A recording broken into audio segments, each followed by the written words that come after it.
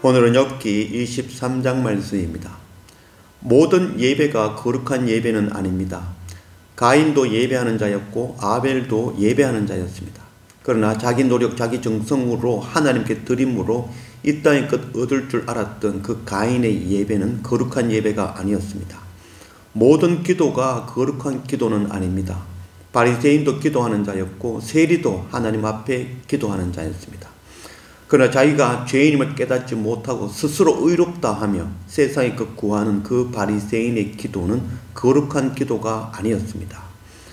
아, 예배는 하나님께 드리는 것이 아니라 하나님의 긍휼을 받아 누리는 것 그것이 바로 예배입니다. 기도는 내 뜻을 관철시키는 것이 기도가 아니라 하나님의 뜻을 깨달아 아는 것 그것이 바로 기도인 것입니다.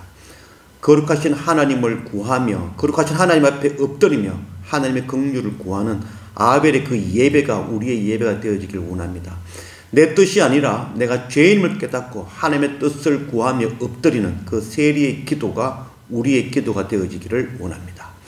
오늘 욥기 23장 1절 말씀 욥이 대답하여 이르되 오늘도 내게 반항하는 마음과 근심이 있나니 내가 받는 재앙이 탄식보다 무거움이라. 욥의 이야기입니다. 무지한 욥의 이야기.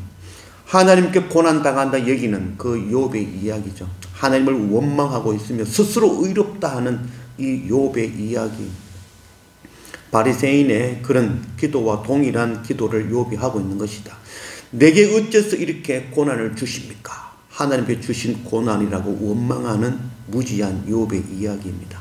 3절 내가 어찌하면 하나님을 발견하고 그의 처소에 나아가랴 어찌하면 그 앞에서 내가 호소하며 변론할 말을 내 입에 채우고 내게 대답하시는 말씀을 내가 알며 내게 이르시는 것을 내가 깨달으랴.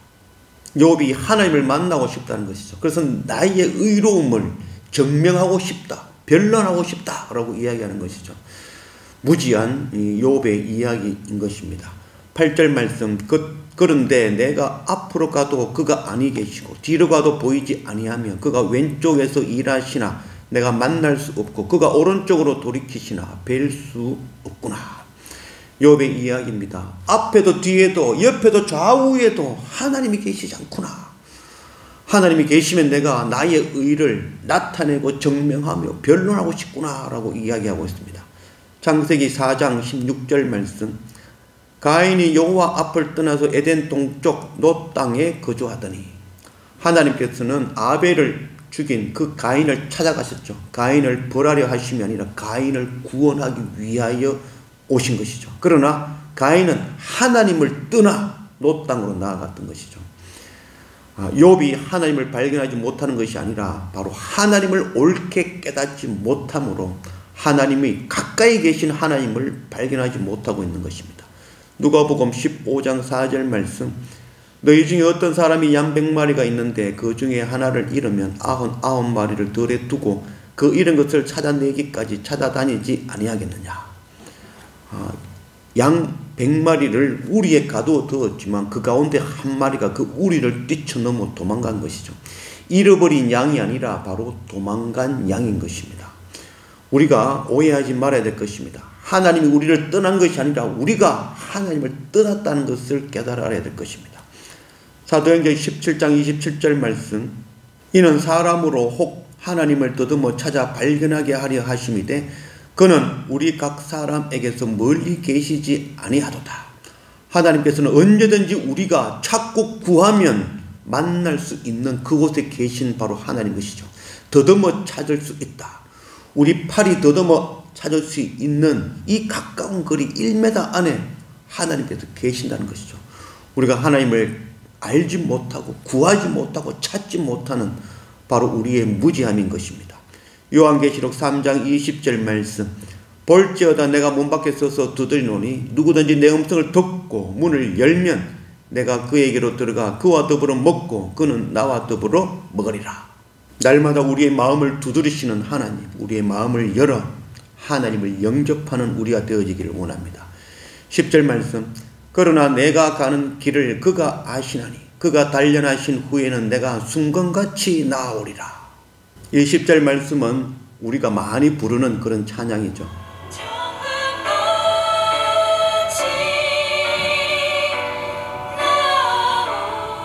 듣기에는 참으로 은혜스러운 말씀이죠. 그러나 이 말씀을 다시 한번 돌아보기를 원합니다. 내 가는 길 그가 아시나니 요비 말하는 내 가는 길은 십자가의 길도 고난의 길도 순교자의 길도 아니고 자기 스스로 의롭다 하는 그 길인 것이죠. 나는 의로운데 하나님께서 애매하게 나를 고난 주신다. 내 뜻 자기 속인에 오른 그 길을 이야기하는 것입니다. 또한 그가 나를 단련하신 후에 이 단련이라는 의미는 훈련이라는 의미가 아니라 히브리어로 바한이라는 의미죠. 바한이라는 것은 검사하다, 조사하다 이런 뜻입니다. 그래서 내가 지금 가는 길, 내가 지금 고난당하는 것 하나님께서 잘못된 고난이다. 그래서 나를 검사하고 조사해 보시면은 내가 옳았다는 것, 하나님께서 틀렸다라고 해주시면 내가 순건 같다고 칭해 주실 거다는 그런 욥의 이야기인 것입니다. 무지한 이 욥의 이야기를 우리는 은혜의 찬양으로 부를 수는 없을 것입니다. 모든 예배가 거룩한 예배가 아니며 모든 기도가 거룩한 기도가 아니며 모든 찬양이 거룩한 찬양이라 할 수 없을 것입니다.